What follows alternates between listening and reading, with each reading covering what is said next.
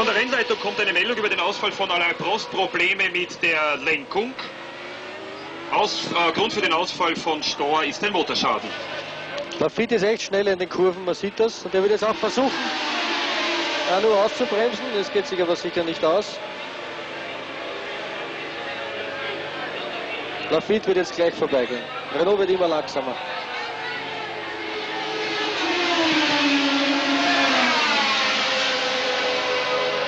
Niki, was kann es im äh, Kopf des führenden René Arnoux vorgehen? Ein Mann, der also so lange jetzt äh, Zweiter war hinter seinen Teamkollegen, der Führer, der weiß, dass er die Führung nicht mehr lange verteidigen wird. Der weiß, dass er sicher Schwierigkeiten hat. Man sieht, er wird immer langsamer. Wahrscheinlich geht sein Turbolader nicht so, wie er gehen sollte. Der denkt sich jetzt halt nur Scheiße, jetzt ist das Rennen verloren, weil er weiß ganz genau, dass seine Runden gezählt sind.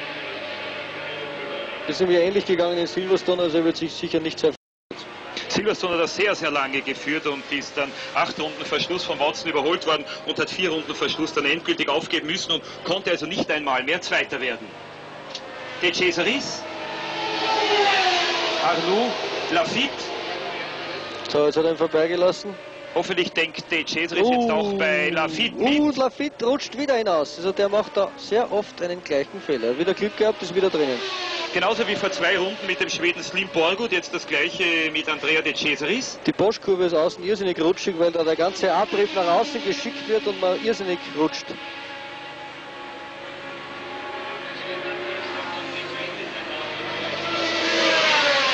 Also Anu hat große Schwierigkeiten, das sieht man, weil Lafitte immer näher kommt. Und sehr unregelmäßig fährt er nur, weil an gewissen Streckenabschnitt ist er schneller und dann wieder langsamer.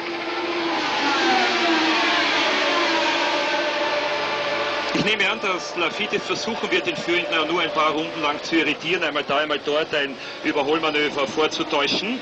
Ja, der weiß ganz genau, wie angeschlagen der Renault jetzt sein muss.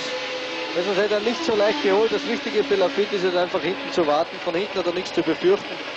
Und es wird nicht mehr lang dauern, wenn er dann vorbeikommt, relativ leicht vorbeikommen wird. Ja, die Höchstgeschwindigkeit 307 km pro Stunde auf der Valvolin-Geraden, die rettet im Augenblick noch für René Arnoux die Führung. Daly im Augenblick vor Salazar. Daly natürlich Rückstand von fünf Runden. Fit könnte die Situation jetzt ausnutzen.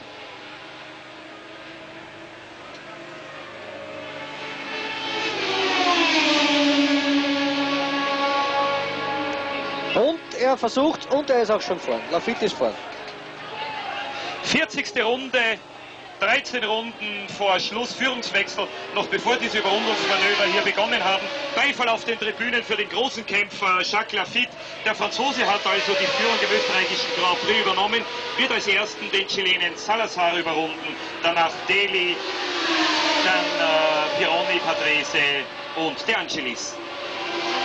Lafitte neben Salazar. Hoffentlich macht der Chilene jetzt keinen Blödsinn. Lafitte ist jetzt wichtig, ruhig zu bleiben, weil sie natürlich schauen will, dass er so schnell wie möglich von Anu wegkommt.